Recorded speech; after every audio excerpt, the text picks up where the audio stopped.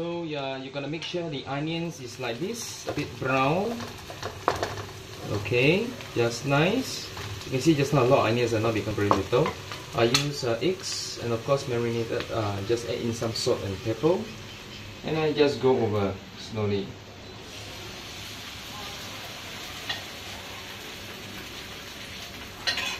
Okay. This is the part when you go, go slow fire, middle fire I will say.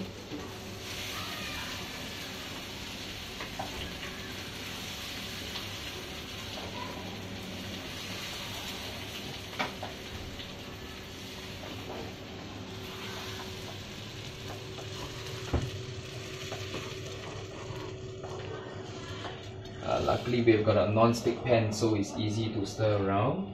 But yet the you have to very stir the eggs very very frequently to prevent them from being burnt. Nobody like to eat burnt eggs yeah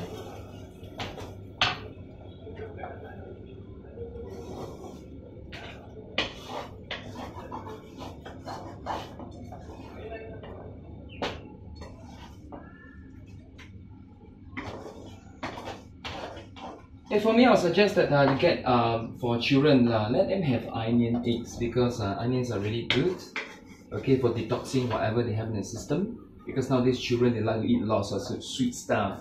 So onions is uh, is one way of uh, removing those sweetness within the body for your child. So you want to cook with family, do you know cook it with love and also taking care of themselves.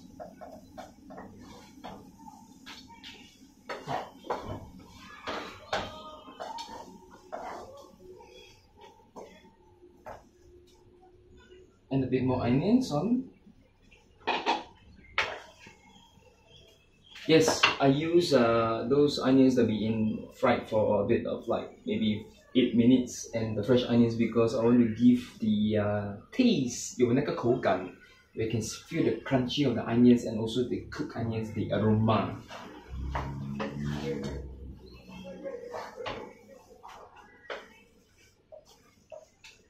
make sure you mix it well